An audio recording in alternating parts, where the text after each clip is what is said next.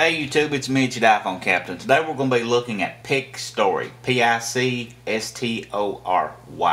Let me show you what the little icon looks like. It's right here with the little camera, the silver background. And you can find it in the App Store. And you can get it currently for $2.99 I think. Um, However, it is only available on the iPad. Now, what you can do with this application is pretty remarkable if you enjoy grouping your photos into different lists or you, you group them by tag put them into different categories uh, say you put all your photos of your kids' school pictures in one album, put all the uh, Christmas pictures in another album, and you just simply tap the Add Album, and you can select photos that's on the device or in iTunes and Picasa or Dropbox and it's very simple to add them to add these you just simply tap on the Dropbox or if I wasn't signed in to Dropbox then I would actually just go up here and tap login and tap my login credentials and it would log me in. Same thing like where I've not logged in for Twitter. I just simply need to tap that and it would do all this stuff here with Twitter and install the app and then go through all that but we're not going to do that. Uh, to add that you just simply choose a photo that's we're currently going to use my stream right here that I have 398 pictures in. And let's choose these three photos here. So we're going to add them up here. Alright so up here is the album we're creating. And we simply tap tag and I could just say me okay? Now when I go in here and it's if I search for anything and I type in me then it's going to be real easy to find it.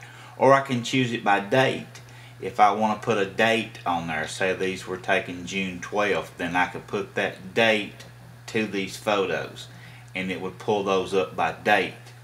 And you can select your Dropbox up here, your Picasa to, to put them to upload them to and different albums right here from my album. You see I don't have anything in my album yet but when we go in here and hit save now it's creating these albums.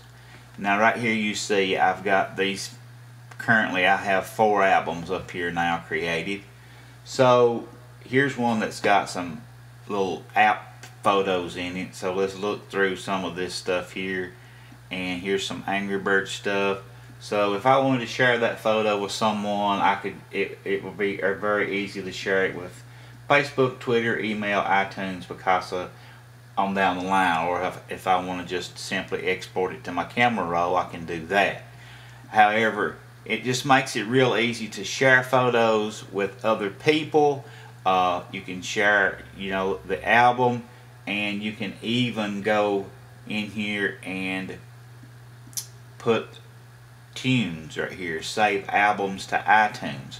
If you want to put everything in iTunes and that way when you back up your uh, iPad you can save these and everything will be right there for you. And here's your timeline. If you want to look at everything by date right here. And you can change this background picture here as well by going up here to change themes if we want to put that on there. Uh, I sort of like that one it's a little easy to look at. And if we wanted to turn the opacity down we could do that as well and we can even make some more adjustments here if we want to add some more blue or something like that. Or we could choose a photo from our own library. If I wanted to add say this one here of me um, I could do that very easily. So I hit apply and now it's got my big ugly mug on there for the theme. And under settings up here you've got a few things you can attach to Dropbox, Picasa, Twitter security settings. It's not.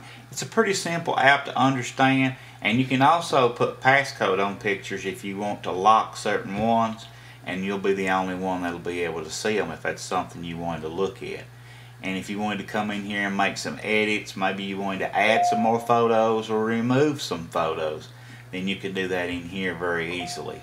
If you wanted to just tap that one picture right there and hit remove, it takes it out that quick and you just simply save that album. Now there's only two photos in that album.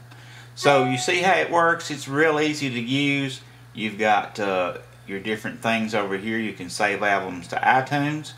You can save albums to Dropbox or Picasa. You can lock it. You can favorite it, edit it, delete it. You can you can look at it by time or you can look at it by album name.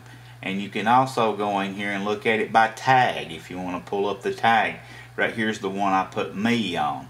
So let's look at me. Okay. Now it just pulls up the, the album where I had me in there.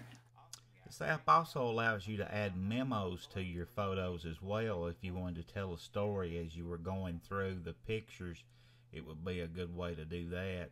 But right at the top up there, you can see where it says memo. Just tap that and you can record as long as you want to right there and then just simply hit the stop button. You can play it back right inside the application if you want to listen to it or you can delete it and you can add them to your photos to, to go right along with them. So hopefully you enjoyed this review, guys. If you think you can use this app, check it out. The link will be below.